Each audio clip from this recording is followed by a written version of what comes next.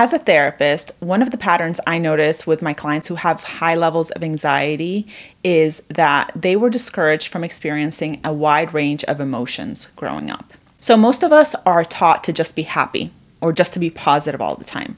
Still, with that type of unrealistic expectations, we are sure to set ourselves up and others for failure. If you experience high levels of panic attacks or anxiety, you have likely experienced a ton of these toxic positivity messages. Toxic positivity sounds like, it's not that big of a deal. Suck it up.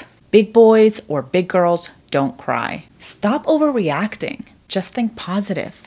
Oh, come on, don't be such a Debbie Downer. These messages teach us that it's not safe to express emotions. Maybe you had to deal with toxic positivity at home and being constantly invalidated and told to just suck it up and be happy. This may have caused you to suppress emotions and develop shame around having any in the first place. Or maybe your parents or caregivers didn't have the emotional intelligence or vocabulary to help you learn about your emotions and feelings. Therefore, you felt you couldn't express them, and maybe you felt alone for even having them. Maybe you were a parentified child and felt responsible for your parents' emotions, and you were always making sure that they were okay. So, there was no room for your emotions. And for all of these reasons and many more, you may not have learned about the wide range of emotions and sensations that you might experience throughout your life. Feelings that are painful and overwhelming, but still normal and super healthy to have. We are constantly bottling things up until one day we can't anymore. We fill up and we begin to experience panic and other mental health issues. The only way out of this is to give ourselves what we didn't get while we were growing up that is time, space, knowledge on how to work through difficult emotions. And then making room for those emotions and supporting ourselves or getting support from others and accepting our emotions as part of the human experience. So, in today's video, I'm going to show you how to do that through an activity called sifting. SIFT is an acronym that stands for each of the steps in this process.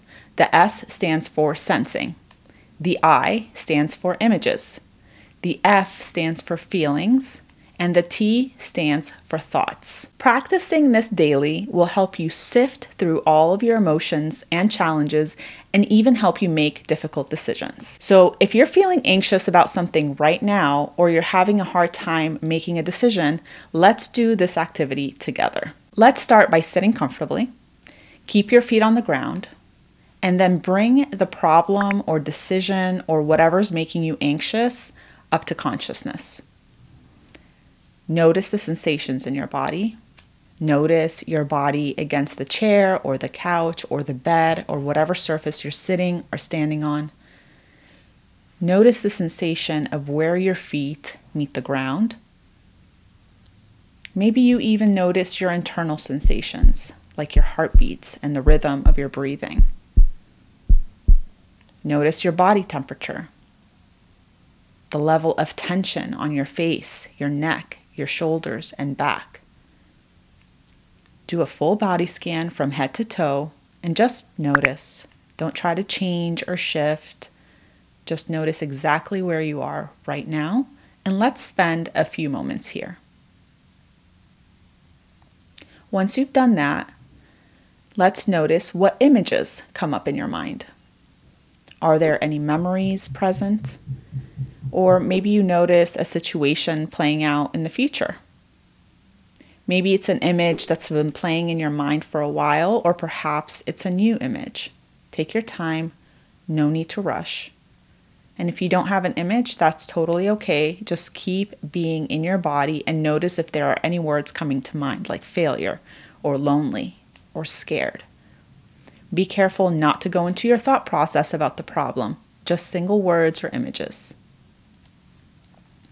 Next, let's go to feelings. What feelings are inside of you? Try to put the name to the feelings. It could sound like sad, hopeful, anxious, worried, overwhelmed, depressed, confused, betrayed, hurt, etc.